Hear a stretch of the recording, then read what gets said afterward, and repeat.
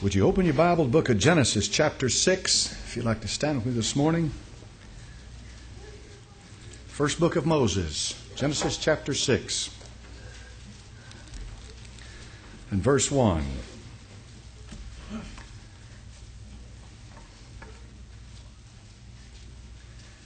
The book of Genesis, chapter number 6, and verse 1. Came to pass when men began to multiply on the face of the earth, and daughters were born to them that the sons of God saw the daughters of men that they were fair, and they took them wives of all which they chose. The Lord said, My spirit shall not always strive with man, for that he also is flesh, yet his days shall be an hundred and twenty years. There were giants in the earth in those days, and also after that, when the sons of God came in unto the daughters of men. And they bare children to them. The same became mighty men which were of old, men of renown. And God saw the wickedness of man was great in the earth, and that every imagination of the thoughts of his heart was only evil continually. And it repented the Lord that he'd made man on the earth, and it grieved him at his heart. And the Lord said, I will destroy man whom I have created from the face of the earth, both man and beast, and the creeping thing and the fowls of the air, for it repenteth me that I have made them. But I call your attention to verse 8. But Noah found grace in the eyes of the Lord. Father, in Jesus' name, now speak through me, Lord. Use this vessel of clay. Speak through me, Heavenly Father. In thy name I pray. Amen. From Genesis, the book of Revelation, God takes an assessment of his creation, looks down from heaven upon mankind. When he looks, he looks through eyes of righteousness, but he acts with hands of mercy. Right. Amen. God looks down upon mankind. He knows his condition before it ever happens. He already knows what he intends to do about what's going to happen. God judges from the heavens, and I'm so, so thankful that according to verse number 8 of the book of Genesis, Noah found grace in the eyes of the Lord. Noah means rest, and that's quite remarkable because God gave the earth rest through Noah. He's the only one who transferred from the old world into the new world. Eight souls crossed that tide of water on board the ark. Eight souls set foot on the new earth. Number eight, therefore, stamped in Bible is the number of the new beginnings. The number of Jesus Christ's name, the gematria of Jesus, Jesus is eight, eight, eight. Therefore, eight is the number of new beginnings. I'm glad God's the God of new beginnings. He didn't destroy man from the face of the earth and wipe him off into oblivion and start another creation, create another creature, put him here on planet earth, but he saw fit to be gracious and merciful to mankind. He did it through one man, Noah, and through his family. Shem, Ham, and Japheth on the plains of Shinar. Once that ark had landed on Mount Ararat, the Bible says they went out to the ends of the earth, and there Shem, Ham, and Japheth repopulated this earth. Every human being on the face of this earth can trace his lineage and his genealogy back to either Shem, to Ham, or to Japheth, because they're the three fathers of all mankind, all coming from Noah. God gave man another chance. He let him breathe one more time and walk on planet earth that he had been on before. For God said in the book of Psalms that man's life is in his nostrils. It's the air that he breathes in and out that comes constantly that God sends to mankind that he may live. In the book of Genesis, a remarkable thing happens in the sixth chapter. The Bible said the sons of God knew the daughters of men. And the Bible said giants were in the earth in those days. The Hebrew word translated giant is the Hebrew word Nephilim. You can do a search on that if you'd like to in a concordance, and you'll find the word Nephilim is one of those strange, mysterious things that are found in the Bible. It's like Rephaim and other words that we find in Scripture. It's hard to pinpoint it and give a meaning to it, but essentially the Hebrew verb naphal is about the closest thing we can find to Nephilim, and it means fallen ones.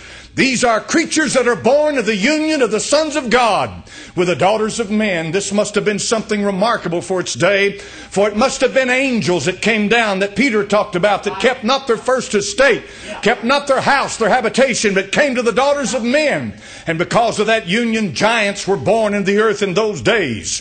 2,000 years ago when the Lord was here, He said, as it was in the days of Noah, so shall it be in the days of the coming of the Son of Man.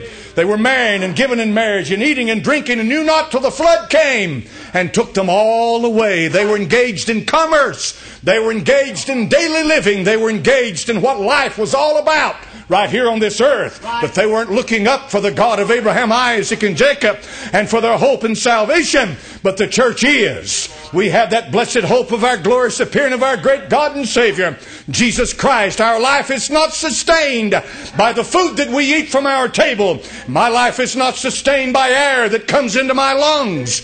My life is sustained by the life giver himself who has come to this earth and given me life. Amen. This earth and earth and all that, that is attained to it shall melt with fervent heat, but I will be gone. Amen to be with the Lord. So in the book of Genesis, a supernatural intervention from heaven. It'll blow your mind. You say, well, the Bible is such a boring book. That's because you've never read it. You say, well, I just don't understand the Bible. Ask God to interpret it for you. Ask the Holy Ghost to come into your heart and open up the pages of the Word of the living God. This is God's Word. Don't tell me God's boring. Amen. Why, we don't half know what we need to know about Him. The Apostle Paul said, I want to know Him. And he was born again and walked in the power of God.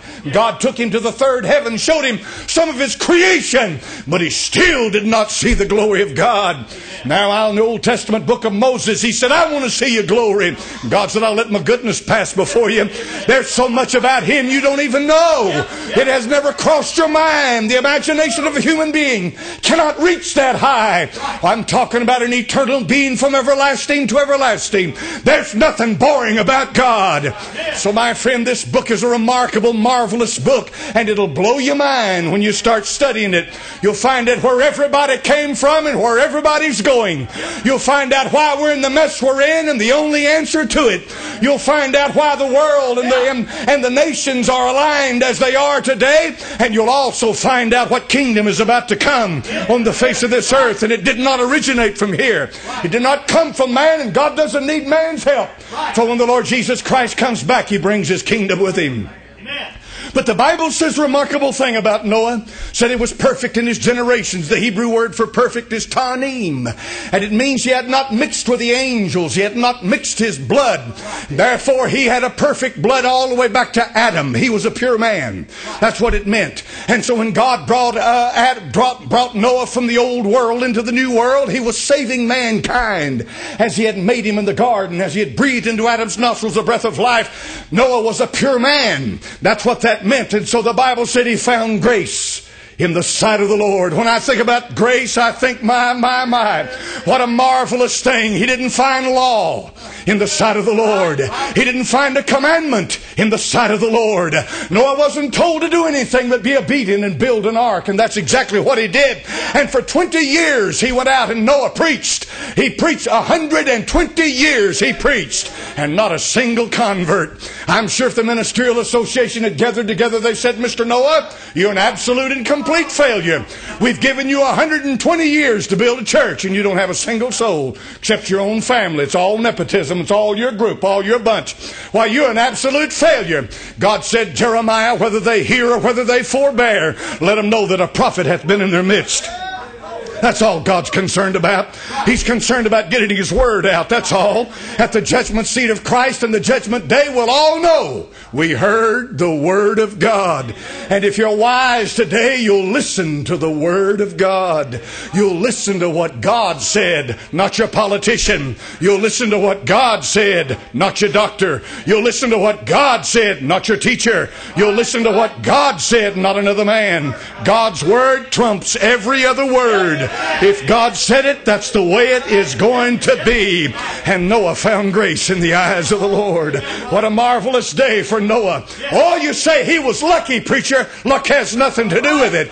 He found grace in the eyes of the Lord. Well, he was a rich man. You can't buy grace. He was a good man. Grace has nothing to do with being good. Well, he paid God back. You can't pay God back. Grace cannot be bought and sold. It's not on the marketplace. Grace is a marvelous thing that originated in heaven. Have you noticed where it came from? The Bible said Noah found grace in the eyes of the Lord. And I look at that and I think, Noah, what a marvelous thing. God's going to save you from the old world and carry you over to the new world. Noah wasn't good enough for it. It's because God chose him. Noah couldn't have done a thing about it. It's because God chose him. And it's because the grace of God that bringeth salvation hath appeared to all men. Every last one of you in this house today, my friend, can be a recipient of the grace of God. I want you to look at it in three ways this morning. Way number one, the Bible said the grace of God that bringeth salvation. It's God ministering grace to mankind. Grace first originated in heaven. Yes, sir. Amen. It's God the Father looking over at His Son and saying, Go now, Son. And when the Bible said, For God so loved the world that He gave His only begotten Son, it meant that He would never receive Him the same again. When the Lord Jesus Christ left out of glory, He did not go back the way He left. The Lord Jesus Christ left out of glory as the second person of the Trinity, the eternal Word of God, from everlasting to everlasting, the Son. But when He went back into heaven, He went back as the God man. There was a man received back into glory, a man that was born in Bethlehem of Judea. He had forever changed. That's what giving yourself means. The sacrifice of the Son of God at the cross was when God gave His only begotten Son, never to receive Him the same again. I've often wondered why people say, well, preacher, the Lord Jesus went back to heaven. God didn't really give up anything. Yes, He did. He gave up a Son that would never come back the same way again. A God man now has seated at the right hand of the Father. That perfect union, that perfect relationship of God with His Son was now different and would never change again. There was something God gave up eternally. And I'll tell you right now, if that's not love, I don't know what love is. It's the grace of God, God giving what man does not deserve. We didn't deserve it, amen. We couldn't earn it. We couldn't do anything for it. But it was God giving to us before we ever asked for it, before we ever called upon His name. The Holy Father, and there's only one, Holy Father, gave His Son so that we could be saved. That's the grace of God. That's God looking from light through darkness. That's God reaching my friend from glory down into hell.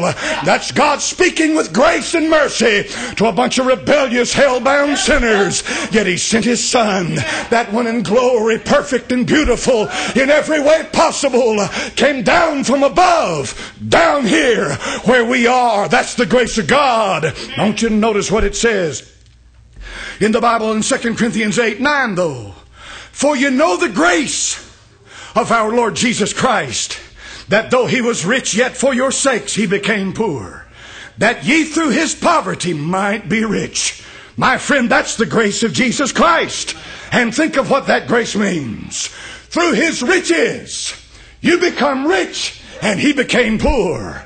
For he bequeathed to you all that he is and all that God has for him. He has inherited all of creation and all of creation's glory, and that is passed on to you as sons of God. But the Bible said, Have you heard of the grace of our Lord Jesus Christ? The grace of Jesus Christ means that the Bible says that he went to the cross for those that cursed him and made fun of him, mocked his name. He went to the cross for those that hate him. My friend, that's grace. It's grace to say, I'll die for you whether you love me or not. Grace says, I'll give my blood whether you even acknowledge I lived or not. Grace went to the cross. It's the grace of Jesus Christ that went to that cross. And it was that grace that He gave Himself for you freely. Nobody could earn the Son of God. How could you be worthy for that? Why, we're not worthy of anything but death. We have all have sinned and come short of the glory of God. Yet the Bible said, Have you not heard of the grace of Jesus Christ? That for you he was rich, Now, my friend, through his poverty, you have become rich. He emptied himself of his glory. He emptied himself of his power. He emptied himself of his riches. He emptied himself of all of that so that you could inherit all of that and one day be with him. Amen. Oh, the grace of God. And then the grace of Jesus Christ. What a remarkable thing. In the Bible says he tasted death for every man. He tasted for the most filthy. He tasted the most vile. He tasted the worst of humanity. He drank the dregs of as low as we can get. You live long enough, you can appreciate that. When you see man's inhumanity to man, you think to yourself, how could God die for somebody like that? How could, how could Christ love some, some, some scumbag like that? Yet he died for all. He tasted death for every man. You go back and read a little history and find out the sufferings of men at the hands of men. And you say to yourself, how could he die? He did. Have you not heard of the grace of our Lord Jesus Christ? I'm talking about one who freely gave himself for you. He died for the Muslim. He died for the Christian. He died for the Buddhist.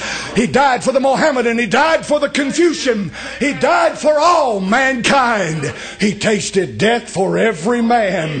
The grace of Jesus Christ took him to the cross. The grace of Jesus Christ nailed him to the cross. The grace of Jesus Christ kept him on the cross. And the grace of Jesus Christ said, Father, forgive them, for they know not what they do. That's remarkable. His tormentors hung about him and mocked him and made fun of him. They cast in his teeth, spit on him. And Lord only knows all that was done to him. And yet, in the face of all of it, the Bible said, Father, forgive them, for they know not what they do. He laid his life down freely for us. The grace of Jesus Christ is God's Son giving to you what you could never buy. God's Son doing for you what you're not good enough for. God's Son going all the way. The grace of Christ. My, what a thing. Now the Apostle Paul tells us again in the book of Colossians, chapter number 4, and verse 6. He said, Let your speech be always with grace, seasoned with salt that you may know how you ought to answer every man. The apostle, same apostle, apostle Paul said in Ephesians 4.29, Let no commu- corrupt communication proceed out of your mouth, but that which is good to the use of edifying, that it may minister grace unto the hearers. What I've received, I give. Who I know, I convey to you. What I have experienced, I preach to you. I do not preach theory from this pulpit. I have not preached what mama told me to preach or daddy sent me to do. I am not here today because of something that somebody else did or something else happened. And then I want to get up and tell you about it. It's okay to tell about somebody's testimony. It's wonderful to let other people know what God's done for you. But friend, when I minister grace to you, from these lips of mine, I am ministering what I have received of the Lord. I want you to know there is no line out there that you could ever cross that is so far that the grace of God can't reach across and take hold of your soul and save you by the grace of God. As long as you have breath in your body, the grace of God, His Bible says, tasted death for every man. I am so glad that as long as God can speak to your soul yeah. and you can hear His voice, Amen. you can be saved. Amen. Amen. I am so glad that I don't care what you've done. I don't care how low you've sunk. I don't care how bad you are. The grace of God can reach you where you are. I came from the other side of the tracks. I came from the bad part of town. I came from the side over there that you don't want to hear about. And you don't want to talk about. But the grace of God reached into where I was. And He called me by His grace. The Apostle Paul said, My, my, my, my, my. Do you know what he meant when he said that? Paul said I was doing the best I could in my religion. I was working night and day for my righteousness. I was even, even carrying people bound to have them stoned to death. And in the face of all of that, in the face of my stupidity, in the face of my religion, The Lord Jesus Christ came to me. Amen. Amen. If true grace has ever touched your soul, you'll minister grace to another human being. If you've ever really been forgiven, then you'll know what it is to forgive someone else. If you've ever had the balm of Gilead poured into your wounds, you'll be the first one there to help some soul that's stomped down in this old ungodly world. Grace is why this preacher ministers. I minister to grace of God to you that I have received. I'm not ministering religion to you. I'm not ministering a standard to you. I'm not ministering an achievement to you. I am ministering to you what I have received. I didn't deserve what God did for me. I couldn't buy what God did for me. I wasn't worthy of what He did for me. But His Word came to me. And His Word came to me where I was. That's grace. And the apostle in Ephesians 2 sums it up this way. He says, For by grace are you saved through faith. And it is not of yourselves, it is the gift of God, not of works, lest any man should boast. Most people are eaten up with pride, yet they don't show it. But pride motivates all their life, everything they say or do. That is, this is why it is so hard for people like that to get right with God. For they cannot fathom in their soul how God can just forgive them for what they've done without paying Him, earning it. Right. Yep. Yep. Lord, I know you want to forgive me, but let me do this for you. Let, let me do something for you. Right.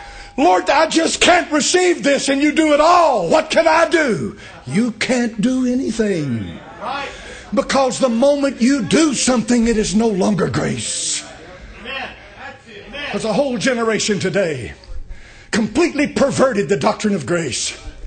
They've built around this great religious superstructure to make you think, well, I know you're saved, but you're going to have to keep some commandments, or you're going to have to do this, or you're going to have to do that. And what you've done is added to the doctrine of grace. Amen. Once the soul is born again, once the soul is completely changed, it'll keep commandments. You'll keep the commandments like you could never keep them before you were born again. You'll love them. You'll honor them. But you'll also let them point out the weakness in you.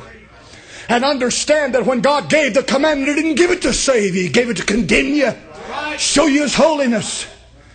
And somebody said, when I preach, Him, it's so hard for me to understand. Why would not God recognize my life of faithful service? And I tithe and I'm good to people and I go to church. Right. I've belonged to my church for 50 years. I've taught Sunday school. I pastored. Why would God not take that into account when I stand at the judgment? He will for reward, but not for salvation. Oh, yes, He'll not miss one labor of love you ever do. If you give a drink of water in His name, you'll receive your reward. You won't miss it, but that's a reward. Salvation is not a reward. Salvation can never be earned. You can never be good enough for it. I don't care if you do the best you can for 75 years. You still cannot earn salvation. Salvation must be the gift of God. It must be freely given or can't be grace. In order for grace are you saved through faith. It is the gift of God, not of works, lest any man should boast. They're compatible. Grace and gift are compatible. But you take the element of grace out and it's no longer a gift. Amen. If you earn it, it's not a gift. Right. If I stand up before you today and say to you, as long as from now till the day you die, you do not commit any uh, mortal sins, but just little venial sins, and we'll take care of them at confession. And as long as the indulgences and the church graces have been handed to you and given to you, you'll make it okay at the end of your life. There are people that go to church Sunday after Sunday after Sunday. That's the message. You know what I just told you? I just told you that you worked your way into heaven. You can't work your way into heaven. I know it feels good. I know it's good for the ego. Right. I know it's something to boast in front of other men for. I realize how it appeals to your pride. I know how religion pumps you up. But you cannot be saved apart from a gift. Amen. I've known people that won't receive a gift. That's right. Yeah. There have been a few times in my life, very few, but a few. I tried to give someone something. Yeah. I said, I can't receive that. I can't accept that. That's either too great a gift or for whatever reason might be, they say, No, I can't, I can't receive that. I can't accept that. I say, Why not? I want to give it to you. No strings attached. I freely give. Why do you want to give it to me? Because I want you to have it. That's all. You mean that's your only motive? That's my only motive. I just want to give you something. I have on occasion given people things and handed it to them, and they say, What's this for? Yeah. How many times have you given someone something and they say, What's this for? Right. Have you ever had that response? Yeah. You understand they're not receiving a gift. Mm-hmm. If it's for something, it's not a gift. Well, it's for being faithful to church. That's not a gift. Right. Right. Amen. Amen. Well, I haven't done anything to anybody. Still not a gift. A gift is something given to you, no strings attached. No strings attached. You don't deserve it. You're not worthy of it. But that's not the issue. The issue is He has a gift He wants to give you. The grace of God that bringeth salvation appeared to all men. God's grace sent His Son. God's grace preaches His Word. God's grace convicts your heart. God's grace saves you. If you're willing to accept a gift. You mean, preacher, that's all there is to it? No strings attached? Oh, no, no, no. God's not going to, you don't have to stop doing anything. Oh, now hold on, preacher. I just can't believe that now. I'm telling you right now. Oh, no, no, no. no I'm- I'm turning you off. God is not going to save anybody until they're willing to quit what they're doing. Oh, is that right? Do you believe that, Brother Peach? No. No. Not at all. You see, that's a string attached. That, that's a condition. Any condition you put on a gift, no longer a gift. It's like the government. When they give you some money, they got a whole lot of strings attached. Make no mistake about that. You got a school, an institution of some kind, you get federal money, mark it down. You get federal papers with it. You didn't get a gift. You got an obligation. God's salvation is not saying to you, you're going to have to quit this, and you got to quit that, and you got to quit this, and you got to quit that. God's salvation is saying to you, by the grace of God, you don't deserve anything, you ought to go to hell. But I'm willing to give you something today that you could never buy, that is freely given, no strings attached. And the reason I'm giving it to you is because I'm, the grace of God is giving you a free gift. Can you receive it? Can you receive that? Good. Well, my preacher, I'm going to tell you the truth. My pride just won't let me do it. Well, I'm glad you're honest. Right. I really am. Because you'd feel a whole lot better if you did something for God to show Him how much you appreciated it. Yeah. Right? Yeah. Uh-huh. Yeah. God's got plenty of gifts just as long as you let Him know how much you appreciate them. So you'll go out and do anything to receive His gift. It's not a gift anymore. Right. It's when He does for you what He did for those ten lepers. Yes, sir. Amen. He gave them the gift of healing. Right. Not a one of them deserved it. But one Samaritan turned around and walked back to him, Right. and he received far more than the other nine. Exactly right. Amen. When he walked back to him, the Bible says, the Lord spoke and said, Where are the nine? Yeah. None save this one Samaritan to return, give glory to God. Go thy way. Thou art what? Whole. Yeah. Yeah.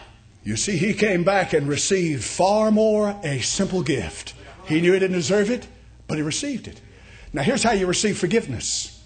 Let's say, Christian, you've made a bummer of it. Yes. Let's say you've blown it. Let's say you got yourself in a mess. Yeah. All right, Christian? I mean, you're really a Christian. You're really saved. You're really born again. And you ran your mouth for 20 years about people doing something, you wound up doing it yourself.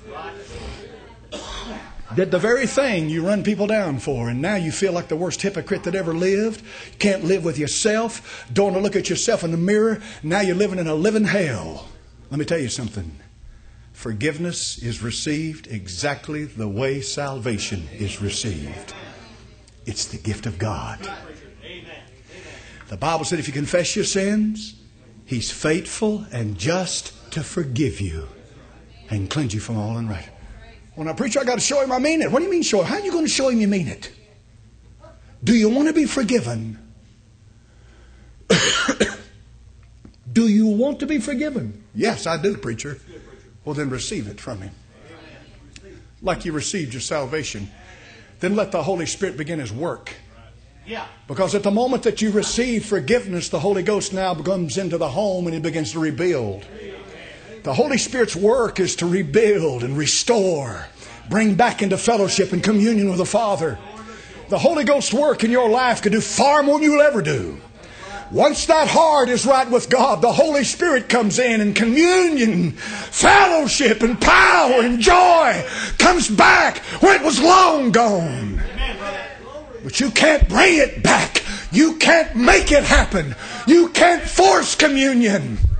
But when the heart is right with God, it's fertile ground for the Holy Ghost. Hidden sins will keep that from happening. Hidden sins. Do we have any Achans in here? Who's Achan, preacher? Achan was an Israelite. When Joshua took Jericho, the Bible says that God said, Jericho is cursed, Yeah. holy to me. Yeah. Don't you touch a thing that belongs to Jericho, it's all mine. So they went into Jericho, it fell. But what happened? He took a goodly Babylonish garment, wedge of gold, buried it in the middle of his tent, hid it. He hid it, just like we hide stuff. Sneaking around. Isn't that stupid? You believe in God, yet you're sneaking around. Isn't that dumb? Turn the lights out and sneak around. Well, if your God's no bigger than that, you don't have a God. If He can't see in the dark, my friend, you're in bad shape. Amen. Amen. You still think you're dealing with mom and dad, don't you? All things are naked and open to the eyes of Him with whom we have to do. And now you've dug a hole and buried it and covered it up patted it down, moved the furniture back over it and set it down like nothing had happened. But it's in here. It's eating at you. It's eating at your soul. It's eating at you. If you're born again, it'll eat you till you die if you don't confess it. So, how do I do it, preacher? You can't do anything about it. You can't make it better. You can't even pull it out of you. Right. You can't change anything. Well, what can I do, preacher? Confess it. I believe the Greek word there is homologia. Logia means word, logos is word. Hama means of the same. You know, homosexual, same sex, clinical term, created has no meaning. Homologia means I agree with God's word. No longer do I, do I put up an excuse, barrier, hide, run, blame game with somebody else. Lord, I accept what you say that I am. I accept it. All right. No more excuses. All right, I did it. And you understand all the circumstances. God, I want some peace in here. Help me. Forgive me. Right then, at that moment, Amen. The Holy Spirit will do something inside you that is just as miraculous as your salvation was when you got saved. And you'll feel that thing go. You'll feel it leave you. That burden will be gone. And the song will come back in your heart, the light in your step, and the fellowship with God.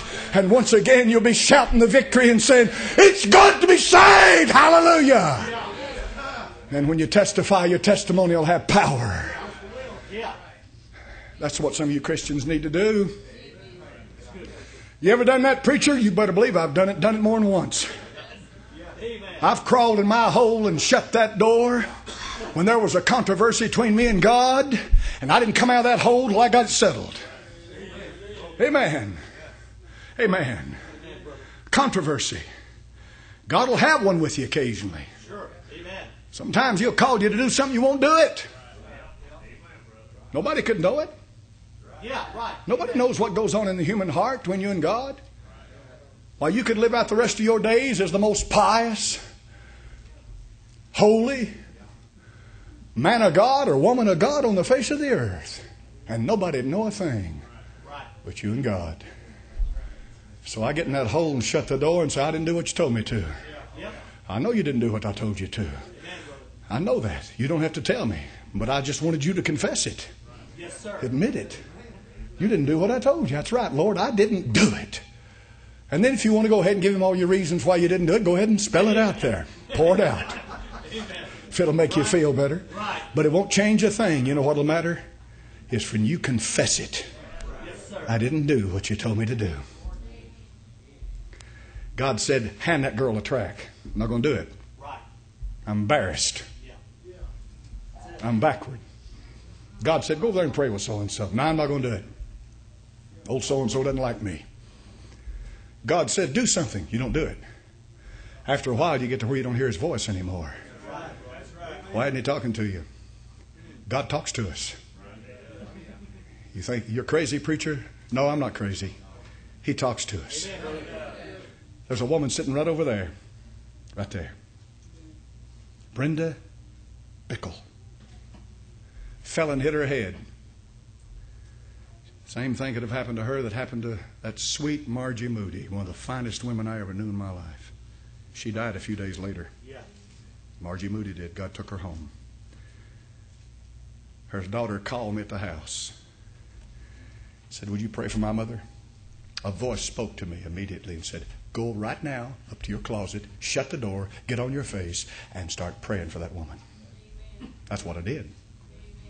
But I could have got up in the car and gone down to Walgreens or over to Walmart or just get out and wander around the woods somewhere and not pray. Who would have known it? Because I could have told her I prayed. Who would have known it? Nobody would have known it but me and God. So I went in there and closed the door, got on my face, and prayed for her. Obedience. Is better than sacrifice, Amen, brother. Amen. Yes, sir. and to obey than the fat of rams. Right. Amen. I hope I got that over to you this morning. You can't earn it, you can't be good enough for it, and it's freely given. The grace of God Yes. will offer to you forgiveness at this very moment. If you'll confess it, He'll forgive you right here. You don't have to confess it to me. Right. Amen. No human being can carry all that. Right. If the world confessed their sins to me, I'd go insane. Yes, sir. Amen. Amen. You don't have to confess it to me. Confess it to God, and He'll forgive you for it.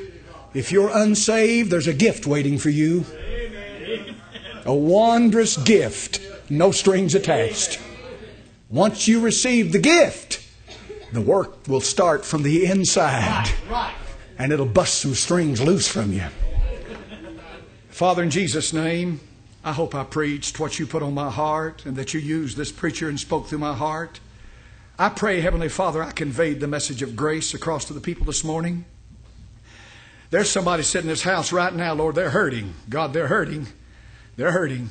They've taken into their bosom, Lord, a fire and it's burning them. There's a cancer eating at their soul. And our Heavenly Father, they don't have any peace. They haven't had peace in a long time. And Lord, they've got to the point probably where they don't think they'll ever have any peace. So there's no hope for them. But our Heavenly Father, I know how freely you save and how freely you forgive. And I know the power of the blood. And I know that blood covenant that we're bound with with Thee. And I know what you've done for us. I pray for that soul. There may be somebody sitting in this house this morning, Lord, who's never received that free gift. They've tried to earn it, they've worked for it, they've tried to be good enough.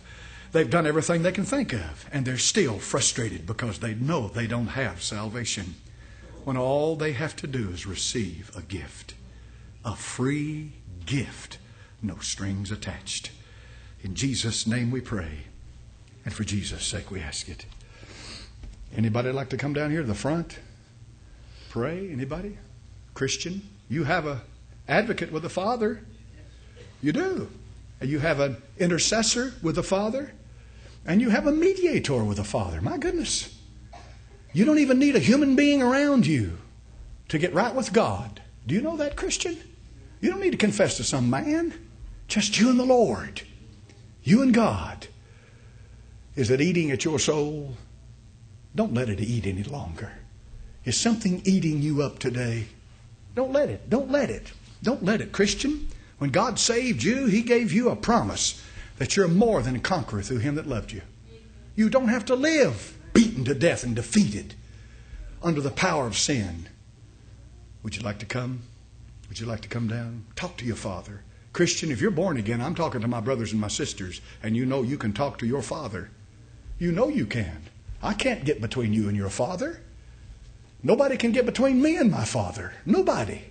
I have a direct access to the Father. Come on, Christian, born again believer. I feel with all my soul that's where this is, message is directed this morning. Believers. But there may be somebody in this house that's never received the free gift of God, never received it. Oh, if I could only get you to understand, it's a free gift. And I'm not giving it. I can preach about that gift and tell you who gives it, but the gift is not my hand to give. The gift is in the Father's hand. He gives eternal life, not me. I'm just a mouth. I'm just a messenger. That's all I am, folks. That's all I am. God that I preach is the one that does the saving. He gives the gift. He does the healing. He does the deliverance. It's the Lord, not me. Man, I want that clear. I want. it's not me, folks. It's not about who I am or what I've accomplished. It's about Him. It's all about Him. You know, people can do things in this world that are simply heinous. They are. Defy understanding. So bad. You say to yourself, how in the world, man? I mean, good. You look at that and you think, my, my. Yet God will forgive them. He'll forgive them. He'll forgive them. He'll forgive them. He'll forgive them. Can you receive it? If you can receive forgiveness, forgiveness is yours. Well, I just wish I could do something, preacher. You'll be doing plenty once you've received forgiveness. The Holy Ghost will begin to work in you. But the doing has nothing to do with the receiving. Receiving is a simple act where you receive what the Father has done. He's already done it too. Do you know that? Work's already finished. Everything's been done, accomplished. God doesn't have to do another thing to forgive you. He doesn't have to, He cannot, He will not add to what's been done. He offered Himself one time without spot to God. The Lord Jesus Christ did everything that was necessary, not only for the salvation of the sinner, but for the sanctification of the sinner and for the final glorification of the sinner. It was all done by the work of Christ at the cross. Nothing can be added to that. Nothing. You cannot add to the work of Christ. His work is finished, complete, and perfect. Now he's become the author of eternal salvation to all them that believe on him. Is there anybody sitting in this house this morning unsaved? You don't have to walk out of here unsaved. Let me warn you now. Let me warn you. I believe we're coming down to the end of this age. I believe the church age about finished. I believe you're living at a transitional time now. If you are unsaved, you're going to be facing the mark of the beast, the Antichrist. The Antichrist will rise soon. We may have already seen him. There are some things happening right now that cause me to shudder. When I taught in Sunday school this morning, I taught our Sunday school class about things happening right now that if they don't cause you to alarm, I don't know what will. We're living in the end time. The Lord's coming back. If you're unsaved, you're going to be faced with a mark. You take that mark and you'll eternally be condemned with no hope forever. Don't take the mark. Don't take it. Don't take it. Don't take it. Receive the Lord Jesus. Accept Him. Accept Him. Receive Him.